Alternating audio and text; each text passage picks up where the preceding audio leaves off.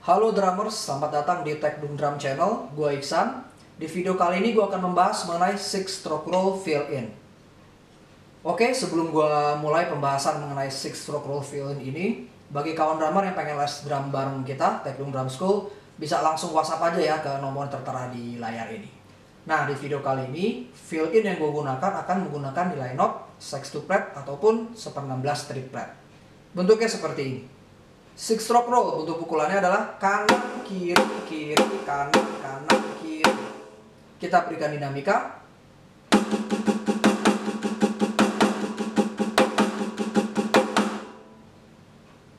Lalu di setiap pukulan kanannya kita pukulkan crash cymbal.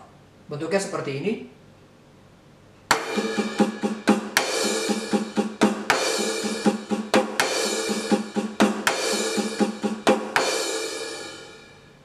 Lalu kita tambahkan kick di setiap pukulan crash untuk bentuknya seperti ini.